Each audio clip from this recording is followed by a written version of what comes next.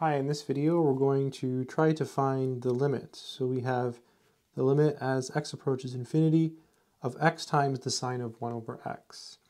So what I'm thinking about doing in this problem, and I haven't done this yet, is basically do the following. So this is the limit as x approaches infinity, and then I'm going to write it like this, sine of 1 over x over 1 over x.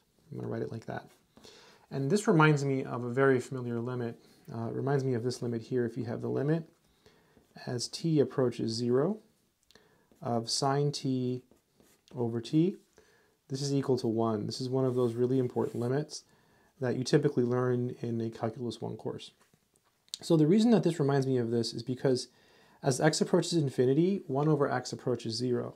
So we can make a substitution. We can let t equal 1 over x, then as x approaches infinity, we have that t, which is 1 over x, approaches 0. Okay? So we can make a substitution now in this limit. We can replace x with x approaching infinity with t approaching 0, and then we can replace each of these 1 over x's with t. So this is actually equal to this. And this is equal to 1. And that completes the solution. so that's it. The answer is 1 because basically if you make the substitution in the limit, if you let t be equal to 1 over x, then as x approaches infinity, this approaches 0. So basically this limit can be replaced with this one, and then you get 1. Um, there's other ways to do it. Let me show you another way.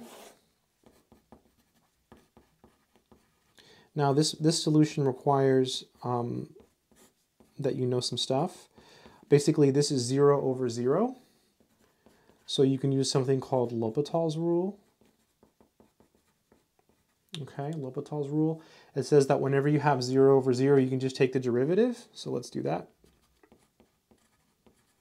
So if you do that here, um, you take the derivative of the top and the derivative of the bottom. So the derivative of sine is cosine, but there's an inside function here. So it'll be cosine of 1 over x times, and then the derivative of the inside function. The inside function is 1 over x, and its derivative is negative 1 over x squared. And here on the bottom, the derivative is negative 1 over x squared. The derivative of 1 over x is something you end up memorizing.